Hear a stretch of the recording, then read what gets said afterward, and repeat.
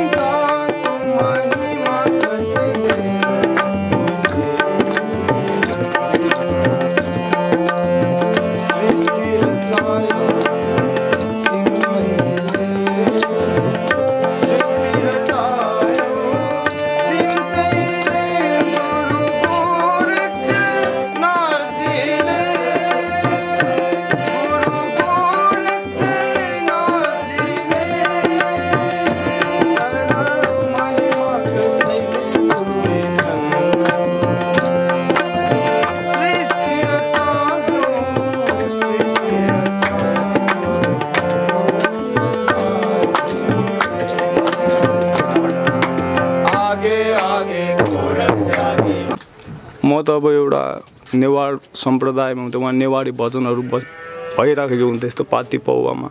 बाजेहरू यस्तो बजाएर आउँथ्यो म पनि गएर यसो टाङखुङ टिङ टाङ गर्ने बस्ने यस्तो हेबिटहरू थियो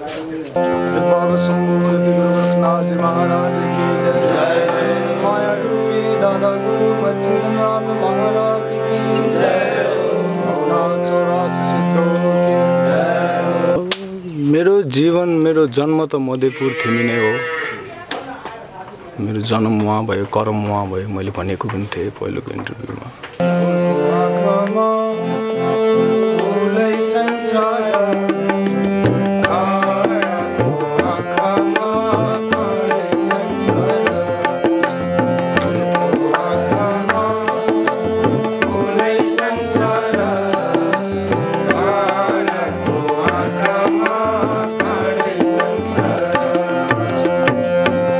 साधना त यही सामवेद नै हो। तबलाहरू एक दुई घन्टा बजाइदिन्छु कहिले काहीँ। आनन्द साम यसमै रमाउँछु।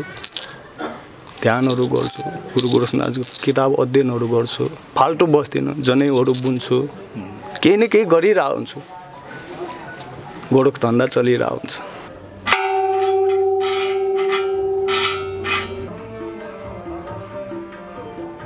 नयाँ नयाँ भिडियो हेर्न अनलाइन हर्पलाई सब्सक्राइब गर्नुहोस् र बेल बटन थिच्नुहोस्।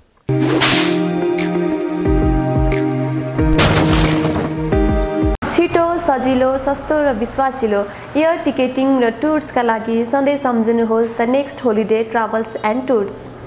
Yogi Niranjan महाराजलाई स्वागत छ। ओ हजुरको हामीले महाशिवरात्रिको दिन एउटा भिडियो बनाएका थियौँ। धेरै भक्तजन भनौँ अथवा दर्शकहरूमा पुग्यो। मन पराइदिनु भयो तपाईँलाई कस्तो लागिरहेछ? यही त हो सबैलाई आनन्दमयको लागि दिया हुन् सबै। आफ्नै प्रस्तुतहरू गरे हुन् आनन्द दिनुको लागि भगवान्हरूलाई नि खुसी पार्नुको लागि।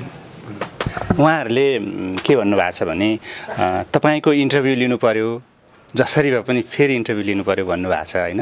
त्यही भएर हामी तपाईँलाई फेरि खोज्दै खोज्दै यहाँ आइपुगेका हौँ। आदेश ठिकै छ तपाईँको बारेमा केही बताइदिनु न। मेरो जीवन मेरो जन्म त मधेपुर थिमी नै हो। मेरो जन्म उहाँ भयो कर्म उहाँ भयो मैले भनेको पनि थिएँ पहिलोको इन्टरभ्यूमा। वत्सव्य यसरी नै हुन् मेरो भजन कीर्तनमै रामायण भजनमै गयो सबै। भजन कीर्तनमै आनन्दमा गयो दीक्षा शिक्षा गरियो साधु सन्तको सेवा मेवा। आध्यात्मिकै खोज गरे हुन् मैले। तर गएको छैन। आफ्नै मूल ग्रहण गुरु दाईहरूसँग यस्तै यति मिठो गीत गाउनुहुन्छ। कतै सिक्नु भएको हो कि आफै नै तपाईँलाई यस्तो स्वर मिठो। हार्मोनी बजाउन आयो? सत्सङ्ग हो कि? अब म त अब एउटा नेवार सम्प्रदायमा हुन्थ्यो उहाँ नेवारी भजनहरू बस भइराखेको हुन्थ्यो यस्तो पाती पौवामा। बाजेहरू यस्तो बजाएर आउँथ्यो म पनि गएर यसो टिङ टाङ गर्ने बस्ने। यस्तो हेबिटहरू थियो। सिक्नुभयो। यहाँ चाहिँ कुन कुन समयमा बजाउनुहुन्छ गाउनुहुन्छ अब यहाँ हाम्रो पहिलो मङ्गलबारहरू भजनहरू हुन्छ। अब भजन त तिन सय पैँसठी दिन नै हुन्छ रामायण भजन हाम्रो। पुलचोक पनौती तारकेश्वर बनेपा सिद्धिकाली सन्देश्वरी धेरै ठाउँमा भजनहरू हुन्छ नेपालमा हाम्रो। यहाँ चाहिँ प्रायः तपाईँले गाउनुहुन्छ बजाउनुहुन्छ होला। हजुर हजुर। हामी सबै सबैहरू मिलेर हाम्रो भक्तहरू मिलेर गाउँछौँ। रामायण भजनहरूमा प्रेम सम्बन्ध तपाईँहरू केही काम गरिसकेपछि आदेश भन्नुहुन्छ नि। यसको अर्थ चाहिँ के हो? आदेश भनेको एउटा आत्मा देह शरीर पनि हो। एउटा स्मरण पनि हो। अब जस्तै हामीले गुरुलाई ओम सतनम आदेश ओम गुरुजीको आदेश ओम गुरुजी। हो स्मरण गर्नु पऱ्यो नि। आदेश भनेको जस्तै अब लिएलाई आदेश भने हाम्रो पालना हो क्या। गुरुको शिष्यको पालन गोरक्ष बालम गुरु शिष्य पालम सैसाई मालम शशिकान्त बालम कालस्य कालम जिते जन्म जान वन्दे जतालम जब जब नाम त्यसै भनेको होइन।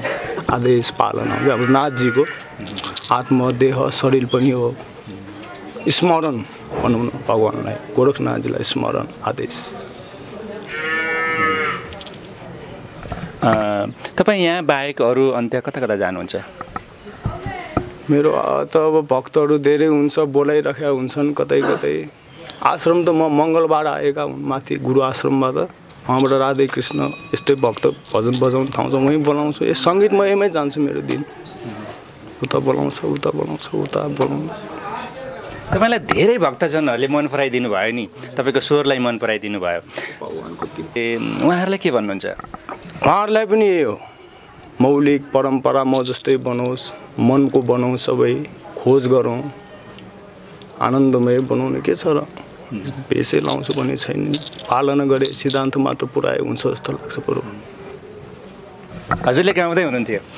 हामीलाई पनि एकदम आनन्द आयो। एकदमै मिठो गाउनुहुन्छ आनन्द आउने। हजुर। खास साधना केही गर्नुहुन्छ? अब साधना त यही साम वेद नै हो। तबलाहरू एक दुई घन्टा बजाइदिन्छु कहिले काहीँ। आनन्द भयो। साम वेदमै रमाउँछु। ध्यानहरू गर्छु। गुरु गोरखनाथको किताब अध्ययनहरू गर्छु। फाल्टु बस्दिनँ जनैहरू बुन्छु। केही न केही गरिरहेको हुन्छु।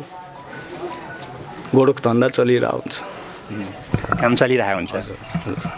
गीत गाउनेहरू बाहेक अन्य के के गर्नुहुन्छ? आरती पूजा नगर बजाउने। भिक्षा माग्न कतै जानुहुन्न? भिक्षा त अहिलेसम्म गुरुको यत्तिकै आसन बसेमै पुग्छ। सबै यहीँ पुरिरहेको हुन्छ। यसो आसनमा शिव गोरख शिव गोरख भएपछि अहिलेसम्म जे होस् खोज गर्नु गए पाएको छैन। जानु परेको छैन। पूर्ण छ। माया आनन्दै छ हजुरहरूको। तपाईँलाई यहीँ बसी बसी आफ्नो इच्छा पुरा भएको छ। सत त्यो गुरुको कर्म गुरुको लगन मन तन मन वचन लगाएपछि सब पुरा हुने रहेछ। निस्वार्थ भावना राखेपछि। समाजमा अशान्तिहरू भइरहेछ अलिकति विकृति विसङ्गतिहरू पनि छन् होइन? उहाँहरूलाई के नैतिक शिक्षा दिन चाहनुहुन्छ? अब यही हो। स्कुल छ गुरुकुल छैन। त्यसमा एउटा अब शिक्षा छिराइदिने जस्तै एउटा साधु र सेसन हुन्छ भने एउटा आध्यात्मिक शिक्षा पनि छिराइदिने। त्यसबाट के होला कि? आध्यात्मिक शिक्षा नभएको कारणले यस्तो भएको हो। हो प्रभु जरुर हो शिक्षाको कारणले हो। जे होस् अब शिक्षामा नैतिक शिक्षा पनि राख्नु पर्यो। पऱ्यो किन? परेन र जरुर आफ्नो बाबुबाजेको इतिहास बचाउनु पऱ्यो नि। हजुर। पहिले गर्दा त बिर्सेर दुःख पाएका सबैले। उहाँलाई हेर्नुहोस् नाजी सबै आफ्नै धर्महरू बचाएर भर्खर भर्खरका छन् सबै ठिकै छ। हजुरले यो कालो पहिरन गर्नुभएको छ एउटा फेटा पनि कालो राख्नु भएको छ नि। केही अर्थ छ? अर्थ तपस्या हो एउटा। अब गुरुले दिएको पनि मेरो बाह्र वर्ष लाउने इच्छा पनि छ। अब भनौँ न अब आफ्नै साधनाको कपडाहरू यसमा केही यो न्यायको कपडा हो कालो कपडा भनेको झुटो बोल्दिनँ हामी। सच्ची सच्ची कुरा बोल्छु कालो कपडा लगाएपछि फेरि। हजुरले लाउनु भएको यो जुन पहिरन छ नि गुरुले दिनुभयो हो हजुर मेरो दीक्षा कलर यो भगुवा कलरहरू हुन्छ अब सेली सिङ्गी। अब नाजी नौना सम्प्रदायले जुन लाए पनि हुन्छ कर्म गर्नु पऱ्यो कि? लुगासँग भगुवासँग केही मतलब छैन। आफ्नो कर्ममा हुनु पऱ्यो सत्कर्म गर्नु पर्यो। सत्कर्म सद्भाव दिनु पऱ्यो लुगासँग क्या? जस तपाईँले गुरुले दिनुभएको भिक्षा भन्नु नि बाह्र वर्ष लाउँछु भन्नुभयो नि। बाह्र वर्ष लाउनुहुन्छ? किन नलाउने? कति वर्ष भयो? भइरहेका छन्। भयो अब पाँच वर्ष छ वर्ष रनिङ अँ, अब छ वर्ष पुगे त बाह्र वर्ष पुग्ने भयो।